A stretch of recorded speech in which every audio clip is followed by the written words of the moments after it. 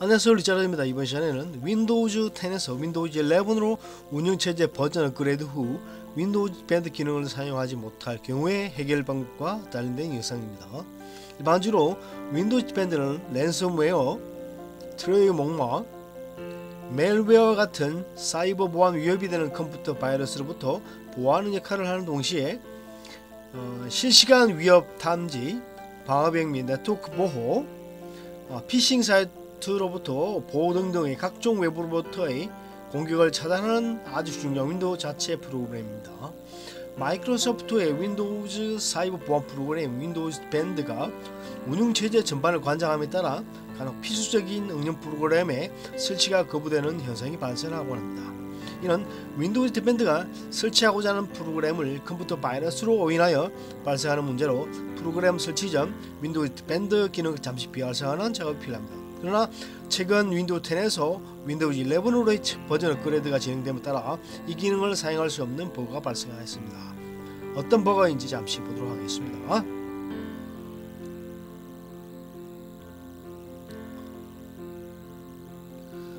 바탕화면 하단부에 있는 Windows 아이콘을 클릭한 후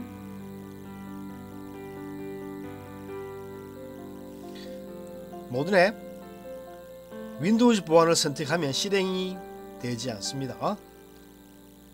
다시 뒤로 설정 창에서 메뉴 중 아래에서 두 번째 항목인 개인정보 및 보안을 선택 후 보안 항목을 Windows 보안을 클릭합니다. 보호 영역에 있는 항목 중 바이러스 및 위협 방지를 클릭하면 이 Windows Defender 링크를 열려면 새 앱이 필요합니다 라는 작은 창이 팝업되어 더 이상 Windows 보안 기능 변경할 수 없게 됩니다. 이러한 문제는 다음과 같은 작업으로 해결 가능합니다. Windows 아이콘을 오른쪽 마우스 버튼을 눌러 Windows PowerShell 관리자를 실행하거나 검색창에서 PowerShell을 입력하여 Windows PowerShell 앱을 관리자 권한으로 실행합니다. 프롬프트에서 다음과 같은 명령을 입력합니다.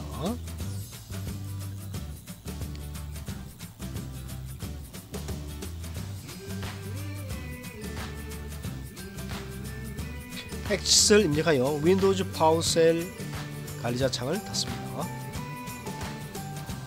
Windows 아이콘을 클릭하여 Windows 보안을 클릭하면 보안 한눈에 보기 창에서 바이러스 및 위협 방지를 클릭하여 항목 중 바이러스 및 위협 방지 설정에서 설정 관리로 들어가면 Windows Defender 기능을 필요한 프로그램 설치를 위해 잠시 끄는 작업을 할 수 있습니다. 이상으로 Windows 10에서 Windows 11으로 운영체제 버전 업그레이드 후 Windows Defender 기능을 사용하지 못할 경우에 해결 방법과 관련된 영상이었습니다. 이 영상을 봐주셔서 감사합니다.